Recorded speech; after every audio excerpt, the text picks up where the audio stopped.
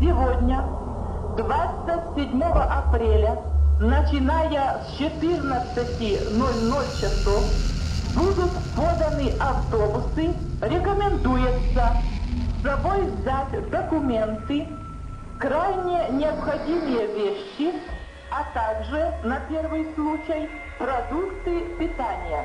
Вы видите кадры более чем 25-летней давности.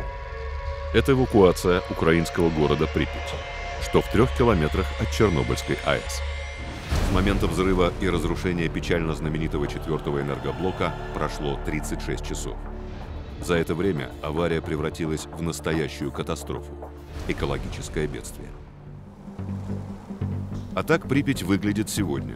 Зрелище, конечно, мрачное. Жить здесь по-прежнему нельзя.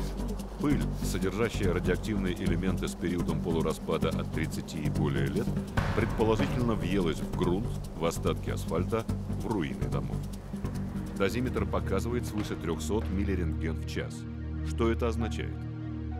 Выходит, что и сейчас, спустя 27 лет после аварии, норма превышена в 10 раз. Если находиться возле погибшего реактора безотлучно, в течение трех месяцев, без специальной защиты, то человек, скорее всего, получит смертельную дозу облучения свыше 600 рентген.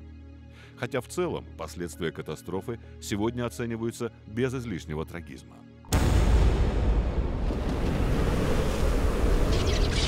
из итогового доклада ООН и Всемирной организации здравоохранения. Катастрофических последствий Чернобыльской аварии не зафиксировано. Вспышки онкологических заболеваний не произошло. Радиация не привела к возникновению мутаций. С последним пунктом категорически не согласен ученый-генетик Коновалов.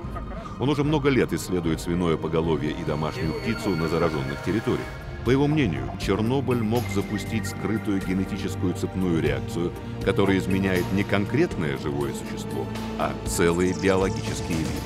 Вот, например, утка с четырьмя ногами, курица с четырьмя ногами. Это не фокус, это было и раньше. Но там были единицы. А сейчас это часто встречается. В чем опасность? Да опасность состоит в том, что это же филогенетический ген. То есть он там был, э, птицы, как говорится, произошли от присмыкающих. Это крокодилы, там кто-то, да? Но у них-то две ноги. А тут вдруг начинает этот ген распрограммироваться. Крокодили, грубо говоря. И у них уже четыре. К огромному прискорбию, подобному риску подвергается не только домашняя живность, но и люди.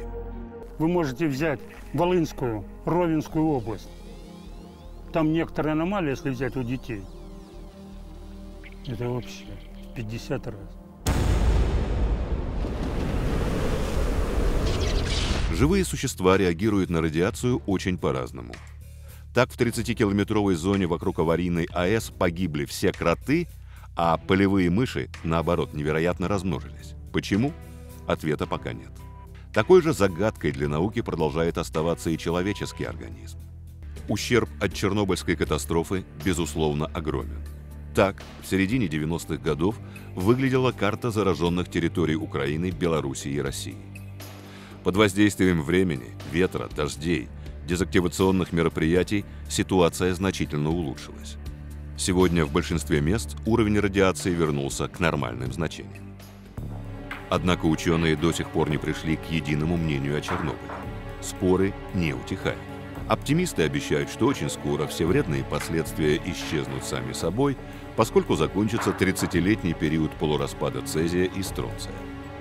Пессимисты же указывают на другие элементы – плутоний и америций, а те могут оставаться опасными сотни и даже тысячи лет. Есть еще критически важное обстоятельство. Гарантийный срок жизни старого чернобыльского саркофага истекает уже в 2016 году – что сейчас происходит внутри бетонного кокона? Насколько это опасно? Контрольные замеры радиации вблизи четвертого энергоблока совсем не успокаивают. Еще пять лет назад был разработан французско-украинский проект «Навард». Реактор должны были закрыть сверху при помощи сложной дугообразной конструкции.